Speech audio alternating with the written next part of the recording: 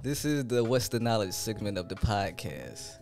I'm Keenen, here to give you the, the knowledge. Uh, when mankind is busy walking off the edge of a cliff, the man going the opposite direction looks insane.